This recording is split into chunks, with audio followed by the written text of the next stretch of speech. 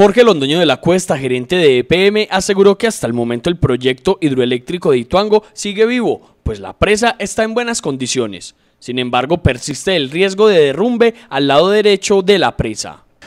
Entonces, eh, ¿qué es lo que nosotros hemos hecho? O sea, esos, el cuarto factor son las lluvias. O sea, tenemos un primer factor que afecta, que es el embalse como tal, presionando la montaña. Segundo, el llenado de casa de máquinas, la inundación de casa de máquinas también afecta eh, la estabilidad de la montaña. Tercero, está los derrumbes per se, también afectan la condición de la montaña. Y cuarto, las lluvias. Las lluvias, bien saben ustedes, conforme va cayendo lluvia, todo ese material vegetal o material que está algo desprendido en los derrumbes, pues va pesando más, con el agua va pesando más y va desgarrando, como tal vez en el siguiente gráfico se ve.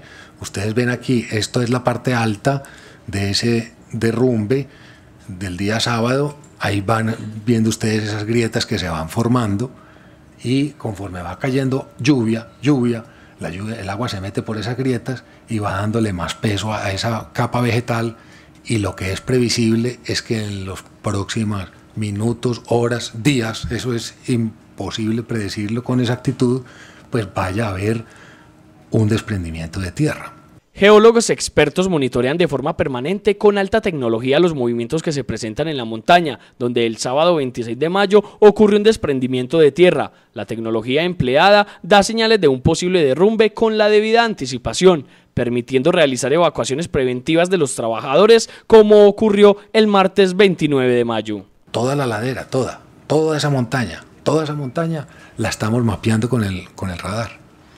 Y, y ubicamos diferentes puntos de la montaña, o sea, el punto más, al, más a la derecha o más al sur, el punto más alto, un punto más bajo, o sea, mapeamos, pixelamos, el término es pixelamos toda esa montaña y cada puntico de la montaña se está evaluando si tiene movimiento o no tiene movimiento. Se ha considerado por la experiencia que hemos tenido en estos días de que si el movimiento que se presenta en algunos sitios de la montaña es inferior a 10 milímetros por hora, o sea, inferior a un centímetro por hora, es, esto es un movimiento que se considera lineal y que no advierte todavía una amenaza de derrumbe, no advierte una amenaza de derrumbe. Cuando se va a presentar un derrumbe, el movimiento se acelera, se acelera mucho más. Por ejemplo, el derrumbe del sábado, cuando empieza a caer la tierra, él estaba en una aceleración de 70 milímetros por hora.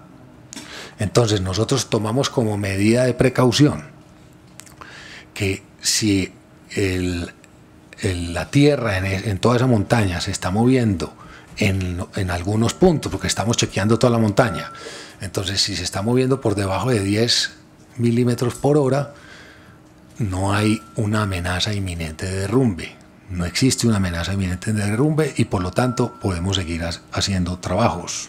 Jorge Londoño de la Cuesta pidió a las comunidades aguas abajo de Hidroituango que mantengan la calma y no se dejen desinformar, porque hasta este momento la presa no está debilitada.